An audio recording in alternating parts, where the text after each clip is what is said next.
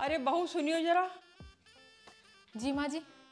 बहू तुझे तो पता ही है आज से नवरात्रे शुरू हो गए हैं। जी माँ जी। तो आज मेरा व्रत है ठीक है? ठीक है माँ जी।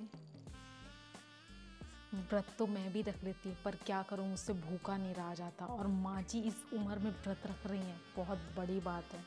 मैं तो भूखी नहीं रह पाऊँ।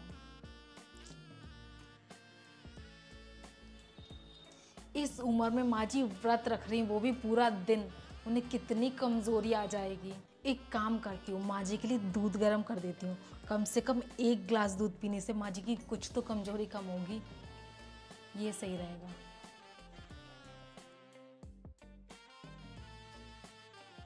अरे माँ जी, आप कहाँ चली गई थी सुबह सुबह? और ये थैला, इस थैले में क्या है?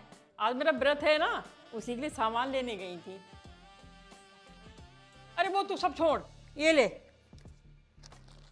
ये ले सिंगाड़े का आटा है, इसकी मेरे लिए हलवा बना देना। और ये समा के चावल है। इसकी मेरे लिए खीर बना देना। और ये नमकीन है, ये चिप्स हैं। चाय के साथ खाऊँगी।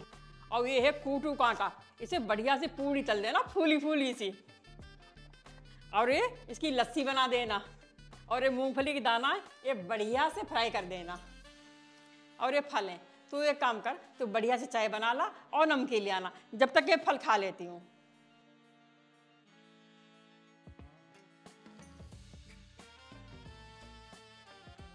अरे बहू तुझे तो मैं सबसे ज़रूरी चीज़ देने ही भूल गई हूँ। अब इससे ज़रूरी और क्या रह गया? ये रहा देसी घी सारी चीज़ें इसी में तलियो और सरसों का तेल मत तलना नहीं तो मुझे कमज़ोरी आ जाएगी। ये ले। ये आज का ही सारा सामान है जल्दी से बना दे इसे। ये सारा सामान आज का ही है।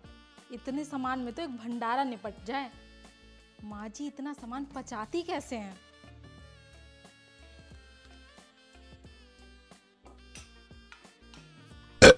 मज़ा आ गया। मज़ा तो आएगा ही। अकेले अकेले इतना सारा ठूस जो गई। माँ जी, कल से मैं भी आपके साथ व्रत रहूँगी। अरे बहू, ये तो बहुत अच्छी बात है। कल से निर्जला व्रत शुरू हो रहे हैं। अच्छा है तू मेरा साथ देगी। बहू, हो तो ऐसी। वाह बहू, वाह। मज़ा आ गया।